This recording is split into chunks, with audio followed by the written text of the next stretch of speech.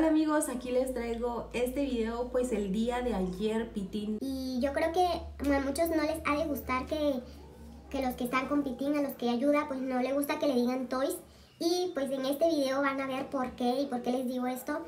Pitín subió unos bloopers en donde la persona que graba con Pitín le estaba preguntando que mandara saludos. Así que pues los bloopers son cuando no le salen a Pitín las cosas y pues las vuelve a repetir. La verdad es que las repite muchísimas veces y pues esos son sin corte, sin nada. Así cuando las cosas no salen bien, pero ahí estuvo cantando su corridón Pitín, que pues hasta Pitín dijo Pitín Toys en la parte de su corrido, pues así dice Pitín Toys. Y ahí en, ese, en la edición que pusieron en ese video le quitaron el Toys. Obviamente pues muchos ya saben que Pitín pues ya no es Toys.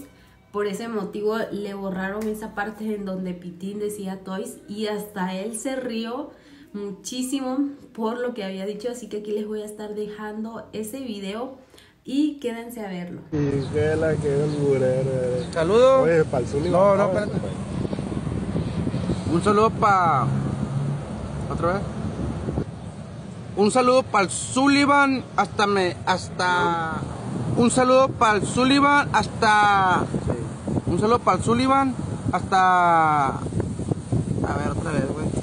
Con la, es la, última. Un saludo para el Sullivan hasta McAllen, Texas, de un Pitín, puro perón antra. Corrido del Pitín. del Pitín. Mucho anduve trabajando y en fronteras con mi tío Freddy haciendo mandados.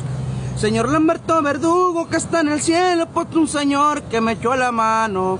Yo sé que no lo esperaban, pero la historia del pitín. Soy el Petro de Barrancos, el más humilde de corazón.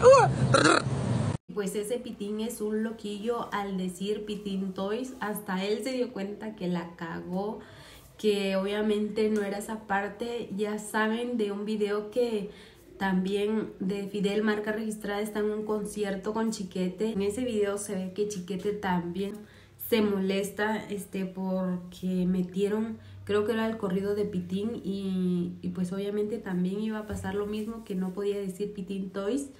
Pero pues algunos me van a entender de lo que hablo si ya vieron ese video.